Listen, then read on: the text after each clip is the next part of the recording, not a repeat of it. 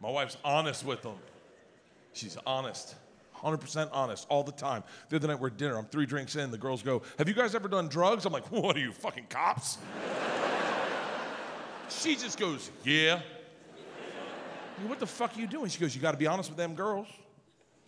I smoked marijuana a couple times. I didn't like it very much. Made me throw up, never smoked it again. But your daddy's done cocaine. I go, What the fuck? Don't think they're looking for recommendations, LeeAnn. She's like, Go and tell him. Go and tell him. Tell him. Tell him the truth now. I was like, Okay, I tried cocaine one time.